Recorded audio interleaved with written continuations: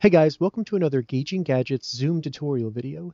In this video, I'm going to show you how to turn off waiting rooms in Zoom meetings. So with the latest security update from Zoom, they've enabled waiting rooms by default. And they did this to prevent any Zoom bombing or any malicious users from interrupting Zoom meetings. But if for some reason you want to turn off the waiting rooms, we'll go through the steps in this tutorial so you can do that. This setting is not configured within the Zoom app. It's actually configured on the Zoom website in the settings there. So the first thing we need to do is simply go to zoom.us in our browser and make sure we log into our Zoom account. And check the description because I'll have a direct link down there if you just want to click that. All right, so once we're on Zoom and we logged in, just go over into the top bar right here and select My Account.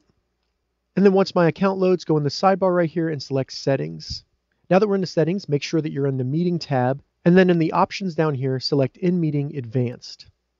That'll scroll us down the page. We need to just continue to scroll down until you see waiting room right here. You'll see that it's turned on. All we have to do is just toggle it off using the toggle button right here.